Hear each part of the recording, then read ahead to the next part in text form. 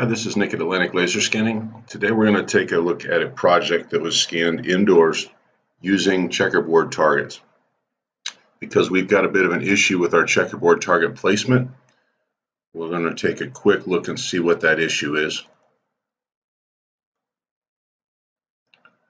As you can see, we've got multiple checkerboard targets showing up uh, in each location. Uh, maybe our scan tech didn't really understand what the purpose of the target was, but uh, while you may think that this is going to increase your accuracy or your registration, actually it can cause problems. Uh, you want your targets, be it sphere targets or checkerboard targets, to be no closer than about 10 feet from each other. Uh, and as you can see, we are much closer than 10 feet which is going to cause an, an, issue. I wouldn't look at the accuracy on something like this, even if it re registers correctly, uh, strictly using targets, uh, is uh, probably as accurate maybe as uh, if it was done correctly or as we're going to do, we're going to register this project without using the targets. So we can jump back into our initial screen and we're going to go through registration, skipping pre-processing and we are going to elect an automatic registration.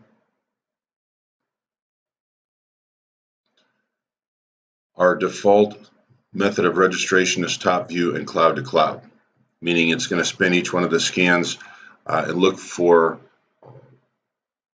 similar geographies, walls, furniture, outlines uh, from the top down to initially set the scans and then try to tighten them up by looking for common XYZ points, which is what the cloud to cloud uh, registration method is. So we'll choose register and verify. Let's take a quick look at what we've got for our two clusters.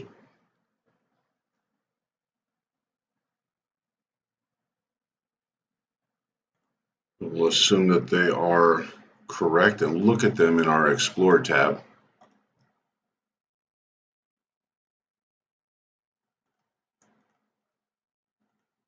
Correspondence view.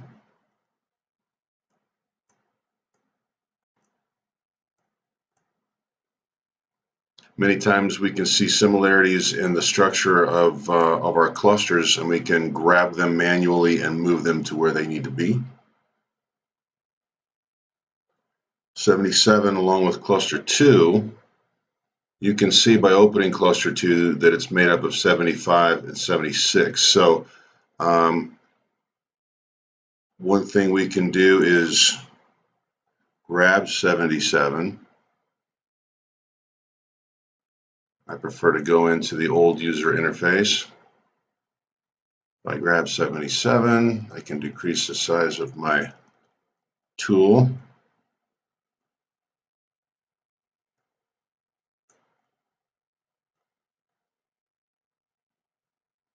And we'll just try to slide this over on top of the existing scan here for the clusters.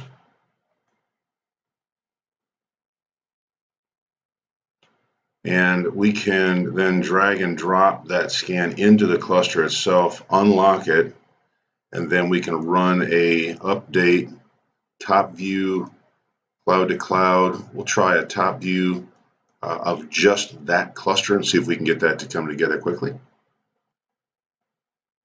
We did not get a successful registration, so what we can do is go into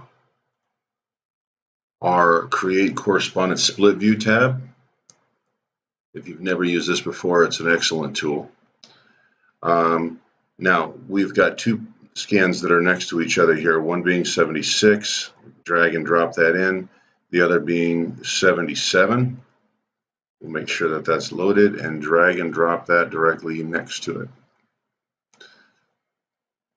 This allows us to look at the two scans side by side and look for similar walls, similar features that we can grab uh, correspondence features with and then force the correspondences.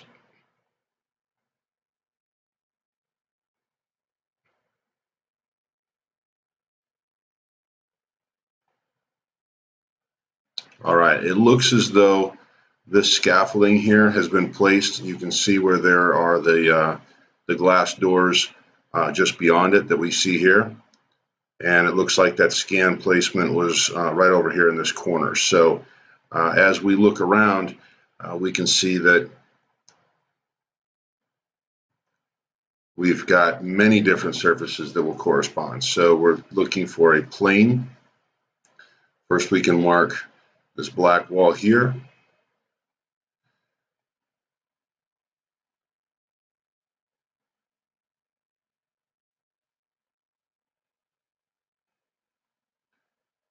We can also see the ceiling here, very clearly visible. It's important when you do this that you're trying to grab uh, planes that are uh, somewhere 45 degree angles of each other. Now we go into force correspondences. We'll say, we'll tell the computer that these two planes are the same and that these two planes here are the same. We can continue to do this. We'll give ourselves a much better chance of successful registration. As you can see with a couple of planes that we have instructed the software that are the same, it begins to see itself in space uh, for where it is. We'll go ahead and shut that down. It'll ask if it wants to be uh, force the correspondence. We say yes. Now, in this cluster, we'll go back and update the scans in that cluster, but this time we do a cloud to cloud. If we use top down, it will not use those uh, walls and ceilings that we had instructed as correspondence views or correspondences together. So cloud to cloud is what we're going to use and we'll watch it come together. As we can see now we've got green lights. It has come together. We lock our cluster and we can take a look here at our other cluster.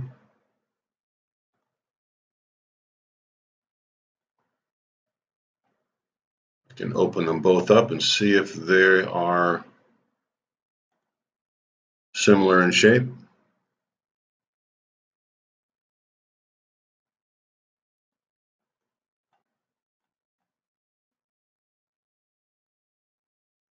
Now they're very different. So if they do come together, one of the best ways to check this is going to be by going back into our uh, split view. And again, we pull the two scans that are closest to each other, which would be 74 and 75. Let's see if we have anything that shows similar characteristics. We've got a hallway.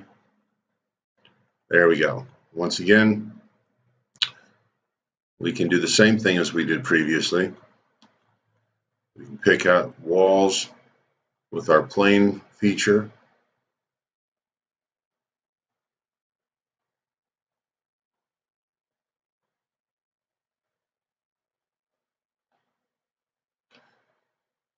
And again, we need to pick out as many different angles as we can.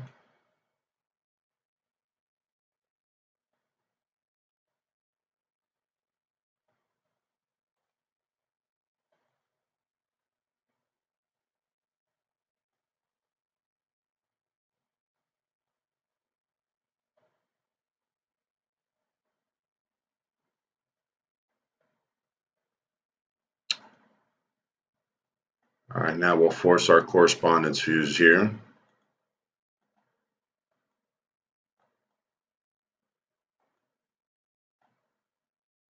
Three and four. Almost all the rest of them have, well, they have. Everything has corresponded well. So we should be able to close this out, forcing our correspondences. Now, when we go into the main scan manager up here, we update scans. We'll go cloud to cloud again and see it come together. And we've got uh, yellow light. Scan point tensions look pretty good. You can see where our hallway did come together.